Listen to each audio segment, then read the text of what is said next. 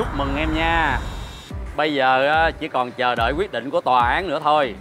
Là chàng hoàng tử của lòng em Sẽ chính thức độc thân.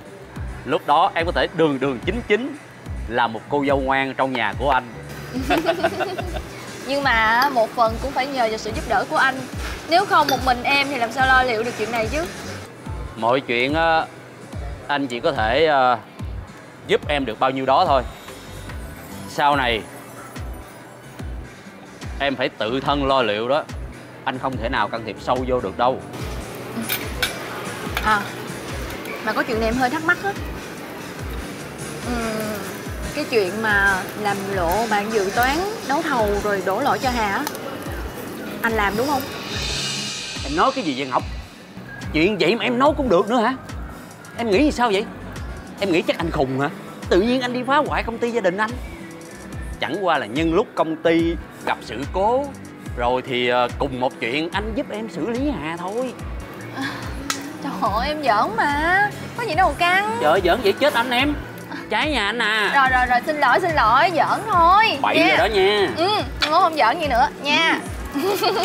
Ủa nhưng mà tìm ra được thủ phạm chưa anh? Hiện tại thì chưa. Nhưng mà anh đang tích cực điều tra Sẽ sớm tìm ra thôi. Mà anh công nhận nha Em cũng chịu chơi thiệt đó chứ. Dám bỏ ra một số tiền lớn Để loại Hà ra khỏi cuộc chơi này ha. Với em chuyện này không phải là cuộc chơi Mà nó là cả một cuộc đời. Để có được anh Quang mãi mãi thì bao nhiêu đó có đáng là bao Đúng không? Ừ. Mà sao anh vẫn thắc mắc nha không biết mà tại sao em cứ kêu anh là phải tuyên bố điều tra lịch trình. Ủa, Em biết trước được lịch trình của Hà luôn hả? Chuyện liên quan đến hạnh phúc cả đời của em Thì em phải chuẩn bị thật chu đáo thì mới dám nói với anh chứ. Yên tâm đi, Không có cái gì liên quan tới cô đâu. Trong đây chỉ là hình ảnh của Hà và Tùng Tình tứ với nhau trong bệnh viện. Nhiệm vụ của cưng là đi rửa tất cả những tấm hình trong đây và gửi cho anh Quang.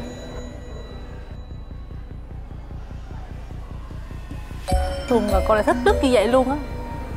Chuyện vậy mà chị cũng nghĩ ra được. Mà dù gì thì anh Quang với Hà cũng đã kết hôn rồi. Chị làm vậy không có ích lợi gì đâu. Tôi khuyên chị nên dừng lại đi.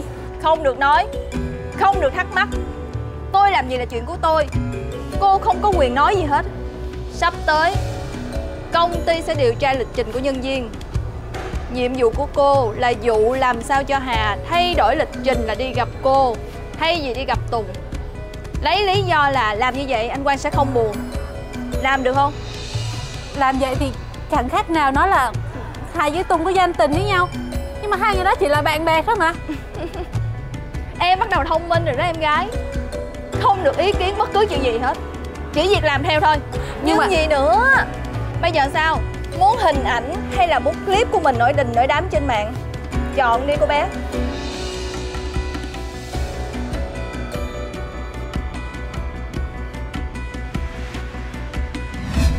Công nhận Em si tình dễ sợ luôn á. Em nhất quyết ờ, yêu quay cho tới tận cùng hả? Ừ. Chung tình là ưu điểm của em mà. Ê, nó nghe nè Sao mà em có được mấy tấm hình của Tùng với Hà hay gì ta? Chuyện đó thì Chú ơi chú cho mừng con nước xăm đi chú. Được. Chú sẽ mua hết nước xăm cho con. Dạ. Nhưng mà bây giờ á Con giúp chú một chuyện.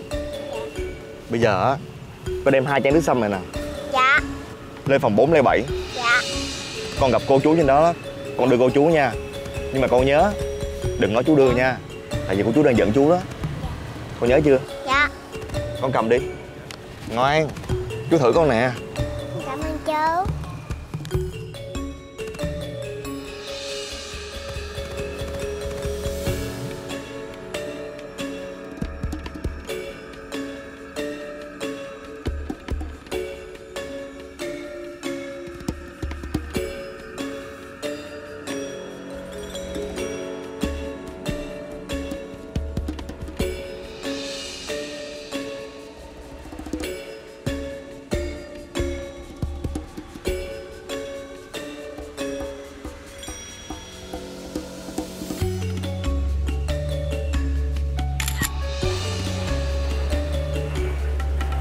Làm tốt lắm.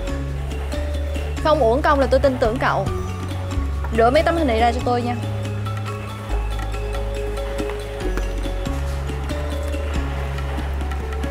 Còn cái này là thưởng thêm cho cậu. Cảm ơn chị. Lần sau cần thì tìm tôi nha.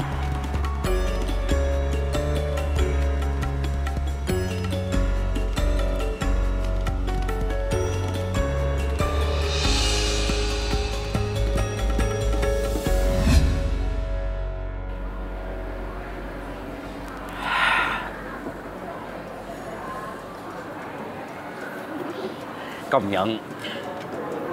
Em cũng nhiều thủ đoạn quá chứ ha. Mà thôi Anh quan tâm chỉ mấy chuyện nhỏ đó. Ừ? Chuyện quan trọng bây giờ là Khi nào em mới có được anh Quang? Ngay từ đầu á Anh nói thiệt Em mới là người xứng đáng với quan nhất. Còn bé Hà gì chỉ là kỳ đà cản mũi thôi Nhưng mà không sao Bây giờ sau tất cả Thì là mọi chuyện đâu lại vào đấy rồi. Khi nào em Tụi em mới cho anh dự đám cưới của tụi em nè.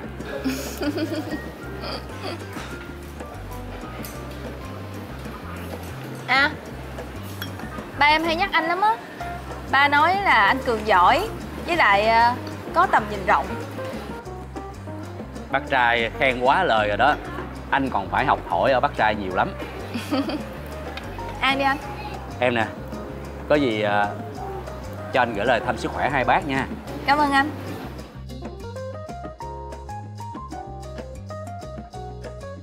Ngủ đi bao lâu cho Con lúc nào cũng bao dung Dù thằng Quang hết lần này tới lần khác làm tổn thương con. Biết sao bây giờ Ai biểu con thương ảnh nhiều quá làm chi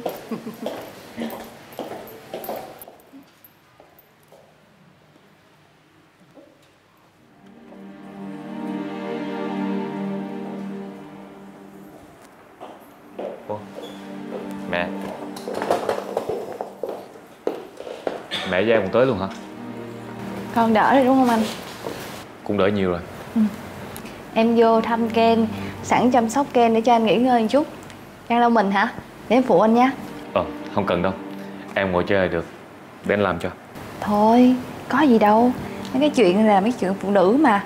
Với lại mấy cái việc này là của mẹ mà. Anh định làm mẹ luôn hả? Đúng rồi đó. Cứ để Ngọc làm đi. Từ bây giờ á, Ngọc sẽ phụ với con Dần dần cho thằng Ken nó quen luôn. Bây giờ không có mẹ Hà Thì có cô Ngọc thay thế càng tốt hơn chứ làm sao? Cảm ơn em nhiều nha. Vì đã thương con anh. Có gì đâu. Ba ơi, mà con muốn được về nhà hả ba? Vài bữa nữa Ba với con được về nhà rồi. Ken cố lên nha. Nhưng mà con muốn về nhà ở đây chán quá, không có gì chơi hết trơn á Vậy à, lát nữa ba nhờ bà nội đem đồ chơi vô cho Ken nha. Dạ, Không cần đâu. Hồi nãy em có mua đồ chơi cho Ken rồi nè. Dạ con cảm ơn cô gặp ba con nói ba con sẽ đem đồ chơi tới cho con. Cô Ngọc mang tới liền luôn, cô Ngọc như cô Tiên vậy Vậy thì bây giờ cô Ngọc sẽ là cô tiên của Ken. Em chịu không? Dạ, Ừ, ngoan quá. Ăn gì chưa con?